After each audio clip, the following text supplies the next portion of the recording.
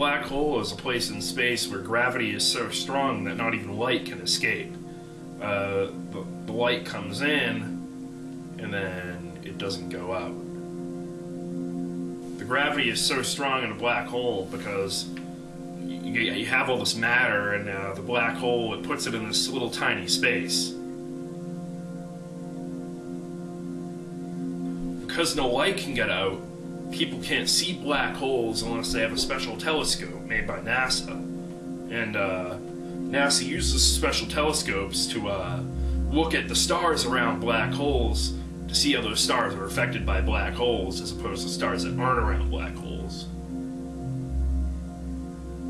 Black holes are so, are, are uh, they can be big or they can be really, really small, about the size of an atom. And uh, they can be so big they're about the size of a, a bazillion suns.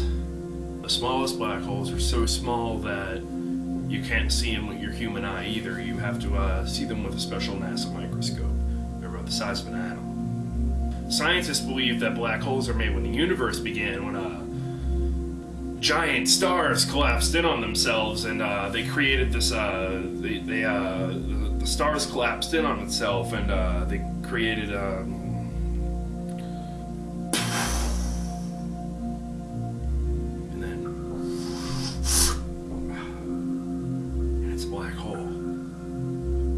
My my my uh, my dad told me that black holes are are a work of the devil, and uh, that uh, if I study black holes, I'm a Satanist.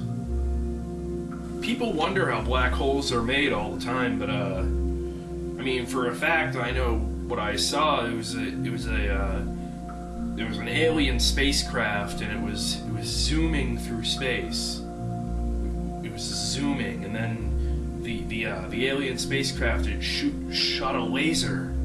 It shot a laser just at the stars, and it was so beautiful. It, it uh, the stars exploded and created this uh, this uh, black void. And uh, I mean, I know black holes are created by aliens. NASA says that uh, black holes do not go around eating up stars and planets, and they actually say uh, that uh, if you replaced our sun with a black hole, it wouldn't have any effect. But uh, I know for a fact that if you put a black hole where the sun was, uh, we wouldn't have any light. I I, uh, I had this dream once where I was uh, I, I was being sucked through a black hole, and at the end of the black hole, I see Santa Claus and a and an alien. Santa Claus looks at me and says says says you've been you know you haven't been good this year, so uh you're gonna get coal in your stocking, buddy. And uh, I wake up crying every time I have that dream. I have it every night. I always wake up crying. I just, I love black holes, and I wish I didn't have that dream because it ruins them for me.